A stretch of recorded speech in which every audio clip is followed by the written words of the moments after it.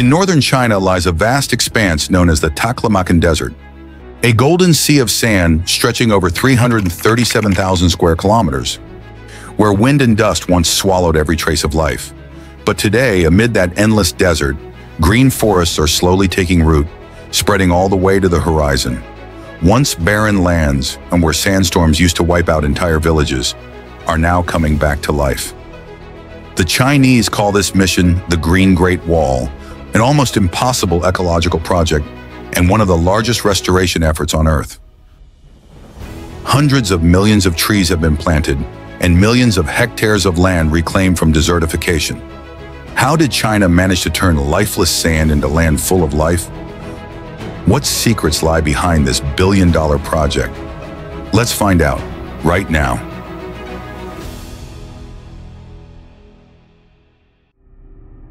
For centuries, northern China has lived with an invisible enemy, sand.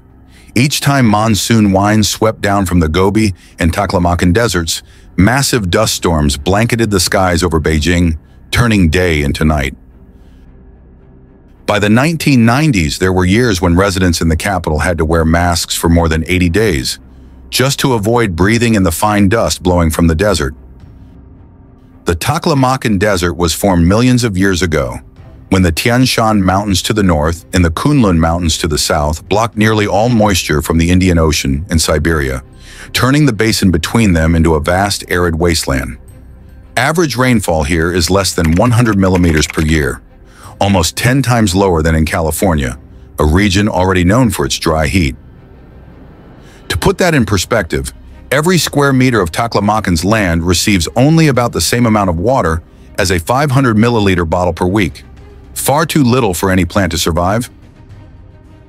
In summer, temperatures can soar above 40 degrees Celsius. In winter, they can drop below 20 degrees Celsius. And sandstorms can strike anytime, without warning, without mercy. This extreme climate, combined with deforestation, overgrazing, and excessive groundwater extraction, exhausted the soil and destroyed vegetation paving the way for uncontrolled desertification to spread across northern China.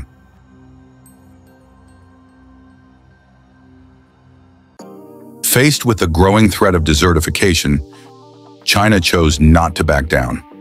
In 1978, the government launched a century-scale initiative, the Three North Shelter Belt Program, known to the world as the Green Great Wall. This is not a single forest wall, but rather a vast network of thousands of forests, windbreak belts, and ecological lakes stretching more than 4,500 kilometers from the Xinjiang Autonomous Region all the way to Heilongjiang Province, covering nearly the entire northern part of China. The goal, to plant 35 million hectares of new forest by 2050, increasing the country's forest coverage from just 10% in 1949 to over 25% today. It is considered the largest human-made project ever built on land, not with concrete or steel, but with determination and the color green of life itself. From here, humanity's dream of reviving the dead lands truly began. So what exactly did the Chinese do in this billion-dollar program? They began not with concrete or heavy machinery, but with a measured plan. Across the Taklamakan Desert, Chinese engineers surveyed the terrain using satellite mapping and drones to analyze dune movement and wind direction. Based on those data, they designed a massive grid system. Straw checkerboards laid diagonally across the sand, each square about 20 by 20 feet. Across the burning dunes of western China, straw is spread out in neat geometric patterns. From above, the land looks like a gigantic checkerboard of golden squares stretching all the way to the horizon. Yet behind that simple image lies a massive engineering operation, complex, expensive, and carried out under brutal conditions. Millions of pounds of straw are transported hundreds of miles into the heart of the desert, where vehicles often sink into soft sand and paved roads simply don't exist. Once there, Teams of workers begin by digging shallow trenches and placing bundles of straw into precise grid lines. Under the relentless sun, With temperatures rising above 49 degrees Celsius and no shade in sight, every movement feels like a battle against heat and exhaustion. Still, thousands of Chinese workers persist. Because each grid of straw is more than just a barrier, it's the foundation for life to return. The woven pattern stabilizes the shifting dunes, slows the wind, and creates microzones where moisture can linger long enough for planting to begin. Once the grid is in place, mechanical augers and planting machines move in. These machines drill small holes at the center of each square, preparing the soil for drought-resistant species such as saxaul, desert poplar, and red willow. The seedlings, carefully nurtured in nurseries before being brought to the desert, are then transplanted in each hole at the center of the straw grid. Each young plant is positioned with precision so that its fragile roots settle just below the surface, where the straw layer shields them from the scorching sun and the shifting sand. Workers add a measured amount of water and compact the soil around the base to ensure that the roots make full contact with the moist layer beneath. As weeks go by, the protective grid continues to serve its purpose. The straw keeps the surface cooler reduces evaporation, and prevents the fine sand from eroding around the seedlings. Over time, the straw gradually decomposes through wind, dew, and microorganisms, turning into an organic blanket rich in nutrients. This natural fertilizer feeds the developing root systems, helping them extend deeper into the stable soil layers below. What began as a few fragile seedlings slowly evolves into a living network of vegetation a green framework that anchors the dunes and begins the long process of reclaiming the desert.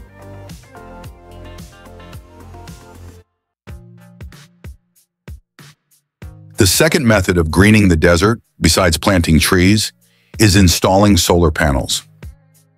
In the middle of the Taklamakan, where sunlight beats down day and night, China has harnessed it to create a massive source of power for the entire region. China chose a bold solution. Let the sun grow the forest. This region receives over 2,700 hours of sunlight each year, ranking among the world's highest in solar radiation. Instead of letting the blazing sun scorch the sand, engineers turned it into a massive renewable power source. Along the Tarim Desert Highway, which stretches more than 436 kilometers across the desert, they installed 86 solar-powered pumping stations. Each station hosts hundreds of photovoltaic panels that generate electricity to pump groundwater from depths exceeding 100 meters.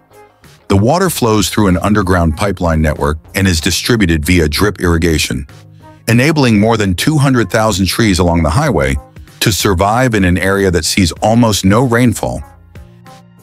As a result, the Tarim Highway has become the world's first Carbon-free desert expressway, a place where sunlight generates electricity, electricity produces water, and water sustains life.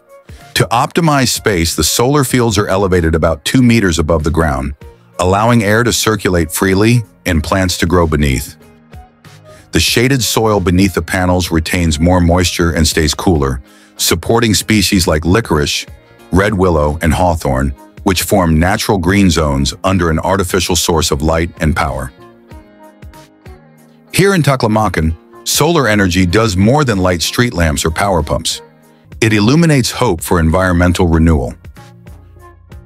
When once known as the Sea of Death, this desert is now becoming one of the world's largest ecological laboratories, where sunlight, technology, and human perseverance converge into one. From what was once seen as a hostile force, Humanity has learned to turn sunlight into water and sand into forest. And in this land once called the Sea of Death, the sun itself has become the source of life. Alongside the solar panels, thousands of heliostat mirrors are arranged in wide arcs, each rotating on two axes to follow the sun's path across the sky. The reflected light is concentrated onto the top of a central tower, where molten salt is heated to more than 540 degrees Celsius. That heat is then used to produce high-pressure steam, which drives turbines and generators to produce electricity. The excess heat is stored in molten salt tanks, allowing the plant to keep generating power steadily at night or during cloudy weather. It's estimated that building and operating this 50 megawatt solar power tower in the Taklamakan Desert costs around $130 million. Are you really impressed with this new Chinese technology? Let me know what you think.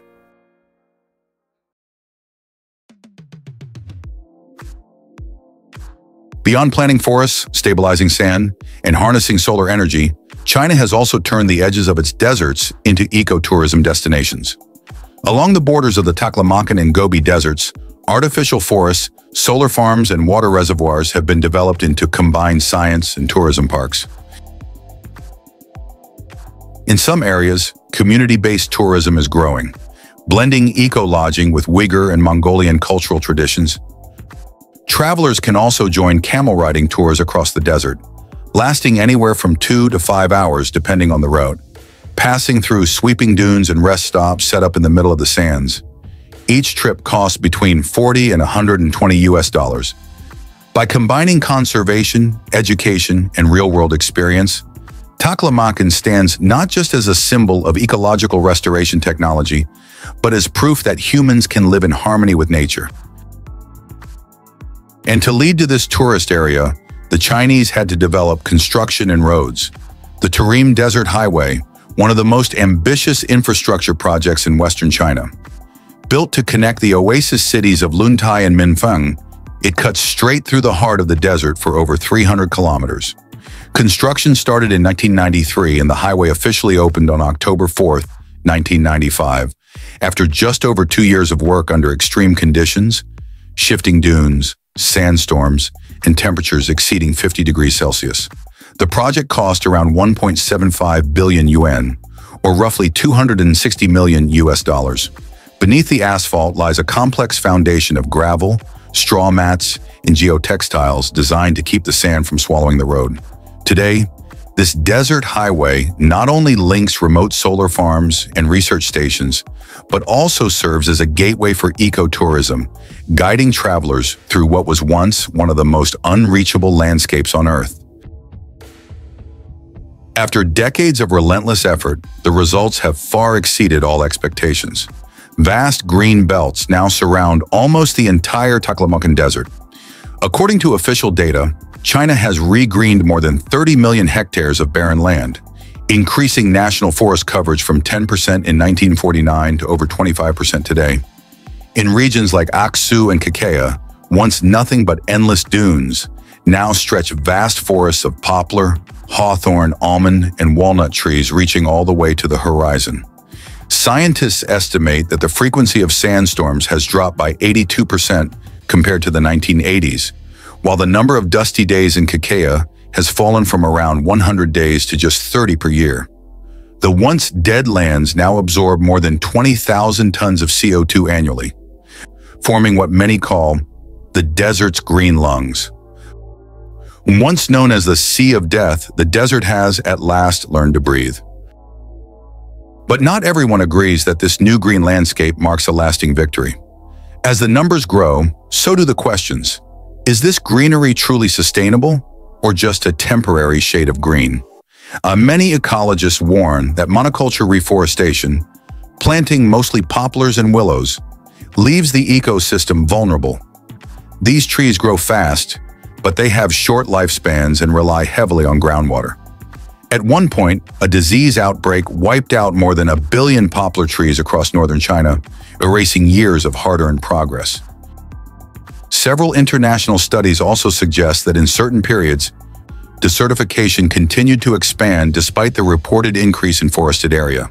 The reason lies in planting trees unsuited to local conditions rainfall too low to sustain growth, and prolonged irrigation that further depletes groundwater reserves. Experts now argue that for the Green Great Wall to truly thrive, China must shift focus from the number of trees planted to the health of entire ecosystems, replacing single-species forests with mixed woodlands that include native trees, grasses, and shrubs. Only by restoring nature in its original, balanced structure can humanity hope to resist the desert in a truly sustainable way. The success of the Green Great Wall is undeniable, yet it comes with an important reminder. Not every green is life if its roots do not belong to the soil beneath it. So you've just explored the full journey of how China is turning its deserts green. From barren dunes to living landscapes powered by sunlight and science. What do you think about this transformation? A miracle of nature or a triumph of human engineering? Share your thoughts in the comments and stay tuned for more stories of innovation and discovery in the next videos on Mandarin Tech.